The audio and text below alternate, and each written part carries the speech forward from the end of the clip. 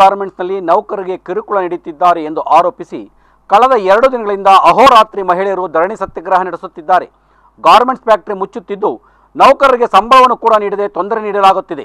ಅಲ್ಲದೆ ಬೇರೆ ಗಾರ್ಮೆಂಟ್ಸ್ನಲ್ಲಿ ಕೆಲಸಕ್ಕೆ ಸೇರಲು ಸಾಧ್ಯವಾಗದ ರೀತಿಯಲ್ಲಿ ಇಲ್ಲಿ ಅವರು ತೊಂದರೆ ನೀಡುತ್ತಿದ್ದು, ಎಲ್ಲೂ ಕೆಲಸ ಸಿಗದೆ ಮಹಿಳೆಯರು ತೀವ್ರ ತೊಂದರೆ ಅನುಭವಿಸುತ್ತಿರುವುದರಲ್ಲದೆ ಎರಡು ದಿನಗಳಿಂದ ನಡೆಯುತ್ತಿರುವ ಅಹೋರಾತ್ರಿ ಧರಣಿಯ ಸಂದರ್ಭದಲ್ಲಿ ಧರಣಿ ಸ್ಥಳದಲ್ಲಿ ಊಟ ಮಾಡಲು ಅವಕಾಶ ನೀಡದೆ ಇಲ್ಲಿಯ ಎಚ್ಆರ್ ಅವರು ತೊಂದರೆ ನೀಡುತ್ತಿದ್ದಾರೆ ಎಂದು ಆರೋಪಿಸಿ ಧಿಕ್ಕಾರದ ಘೋಷಣೆ ಕೂಗುವ ಮೂಲಕ ಧರಣಿ ನಡೆಸಿದರು. ಧರಣಿ ಸ್ಥಳಕ್ಕೆ ಕ್ಷೇತ್ರ ಶಾಸಕ ಎಸ್ ಟಿ ಸೋಮಶೇಖರ್ ಭೇಟಿ ನೀಡಿ ಕಾರ್ಮಿಕ ಇಲಾಖೆಯ ಆಯುಕ್ತರೊಂದಿಗೆ ದೂರವಾಣಿಯಲ್ಲಿ ಮಾತನಾಡಿ ಸಮಸ್ಯೆ ಬಗೆಹರಿಸುವಂತೆ ಸೂಚಿಸಿದರು. ಮಾಡಿದ್ವಿ? ನಾವು ಯಾರೂ ಒಪ್ಪಿಲ್ಲ. ನಾವು ಮಧ್ಯಾಹ್ನ ಹನ್ನೊಂದು ಗಂಟೆಗೆ ಎಲ್ಲ ಧರಣಿ ಕೂತ್ವಿ. ಹನ್ನೊಂದುವರೆಗೆ ಹೊರಗಡೆ ಬಂದ್ವಿ. ಅವಾಗ ಯಾರೂ ರೆಸ್ಪಾನ್ಸ್ ಕೊಟ್ಟಿಲ್ಲ. ಮತ್ತೆ ಯೂನಿಯನ್ ಮೆಂಬರ್ ಮಾಡಿ ಯೂನಿಯನ್ ಲೀಡ್ರನ್ನ ಕರೆಸ್ತಂದ್ರು ಕರೆಸ್ತಂದ್ಮೇಲೆ ಸೋಮವಾರ ನಿಮಗೆ ಡಿಸಿಷನ್ ಆಗುತ್ತೆ. ಯಾವುದೇ ಗಾಡಿನೂ ಕ್ಯಾನ್ಸಲ್ ಮಾಡಲ್ಲ ನಾವು. ಎಲ್ಲ ಗಾಡಿನೂ ಕಳಿಸ್ತೀವಿ ನಾವು. ಯಾವ ಗಾಡಿಗೂ ನಾವು ತೊಂದರೆ ಕೊಡಲ್ಲ ಯಾವ ಎಂಪ್ಲಾಯ್ಗೂ ಕೊಡಲ್ಲ ಅಂದರು. ಆಯಿತು ಅಂದ್ಬಿಟ್ಟು ಸೋಮವಾರ ನಾವು ಮನೆ ಎಲ್ಲ ಹೊರಟೋದ್ವಿ. ಶನಿವಾರ ವಾಪಸ್ ಹೊರಟೋದ್ವಿ. ಸೋಮವಾರ ಬಂದು ನಮಗೆ ತೀರ್ಮಾನ ಆಗಿಲ್ಲ. ನಾವು ಸೋಮವಾರ ನೈಟ್ ಇಲ್ಲೇ ಇದ್ವಿ. ಸೋಮವಾರ ನೈಟ್ ಇದ್ದು ನಮ್ಗೆ ಯಾವುದೂ ರೆಸ್ಪಾನ್ಸೇ ಕೊಟ್ಟಿಲ್ಲ. ಮಹಿಳೆಯರಿಗೆ ಆಗಲಿ ಯಾರು ಜೆಂಟ್ಸ್ಗೆ ಯಾರಿಗೂ ರೆಸ್ಪಾನ್ಸ್ ಕೊಟ್ಟಿಲ್ಲ. ನೈಟಲ್ಲೇ ಇಲ್ಲೇ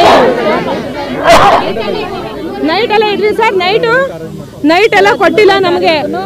ಮಂಗಳವಾರ ಬಂದು ಏನು ಹೇಳಿದ್ರು, ನಾವು ಬೇಡಿಕೆ ಬರ್ಕೊಡಿ, ನೀವು ನಮಗೆ, ನಾವು ಅದ್ರ ಪ್ರಕಾರ ಹೋಗ್ತೀವಿ ಅಂದ್ರು. ನಾವು ಯೂನಿಯನ್ ಇದನ್ನ ಕಾಫ್ ಆಫ್ ಮಾಡ್ಕೊಡಿ ಅಂದ್ರು. ಆಯ್ತು ಸರ್ ನಾವು ಕಾಫ್ ಆಫ್ ಮಾಡ್ಕೊಡ್ತೀವಿ. ಇದನ್ನ ಎರಡು ದಿವಸಕ್ಕೆ ಕಟ್ ಮಾಡ್ಕೊಡ ಕಟ್ ಮಾಡಬಾರ್ದು ಕಟ್ ಪೇಮೆಂಟ್ ಇದು ಕಟ್ಟಕ್ಕಾಗಲ್ಲ ನಾವು ಅಂತ ಹಾಕಿದ್ದಾರೆ. ನಮ್ಗೆ ಇಷ್ಟೇನೆ ಸರ್ ನಾವು ರಿಸೈನ್ ಕೊಡ್ತೀವಿ.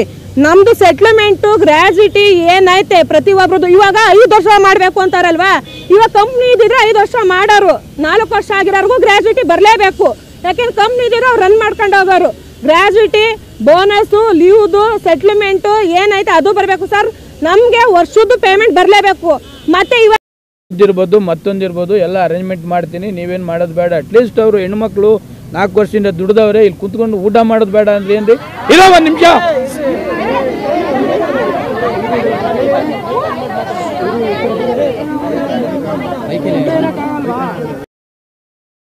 ಹೀಗೆ ಇವ್ರೇನು ಬೇಡಿಕೆಗಳಿದೆ, ಏನು ಹೇಳ್ತಾರೆ ಅಂತ ನೀವು ತಿಳ್ಕೊಳ್ಳಿ.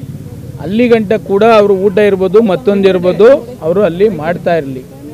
ನೀವು ಅವ್ರಿಗೆ ತಿರ್ಗಾ ಏನಾದ್ರು ತಿರ್ಗಾ ಹೋಗೋದು ಬೇಡ, ಅಲ್ಲಿಗೆ ಬೇಡ ಅಂತಂದರೆ ನಾನು ಇಲ್ಲೇ ಬಂದು ದಣಿ ಕೂತ್ಕೋಬೇಕಾಯ್ತದೆ, ಸರ್ಕಾರನ ಇಲ್ಲಿ ಕರ್ಸ್ಬೇಕಾಯ್ತದೆ. ಆಯ್ತಾ ಇವ್ರೆ? ಎಲ್ಲ ನಿಮ್ಮ ಮೇಲೆ ಚಾರ್ಜ್ ಮಾಡ್ತಿದ್ದಾರೆ.